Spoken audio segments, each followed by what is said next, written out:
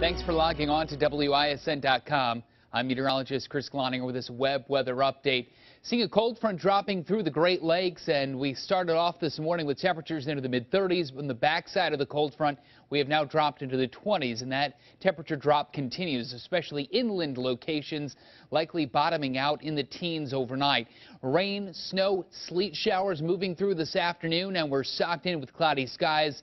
And we had some fog with temperatures into the mid-30s, but now that our temperatures have dropped, the low cloudiness and fog will become less of an issue during the overnight since the melting has stopped and that air isn't able to evaporate back out into the atmosphere. Taking it hour by hour, we have a north to northeast wind developing, and that could set up a little bit of lake effect as we go into Monday morning and into the early afternoon. That band then settles back offshore as we go into the evening on Monday. When you add it all up, most areas under an inch.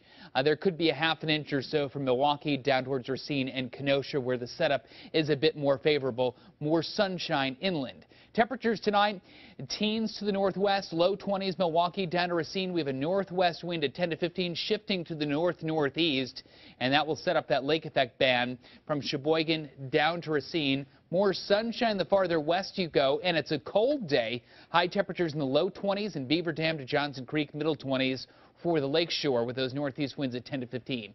So tomorrow we start to clear out during the second half of the day, a high of 27 degrees, 31 on Tuesday, breezy with flurries uh, and maybe some snow showers on Wednesday, 32 degrees.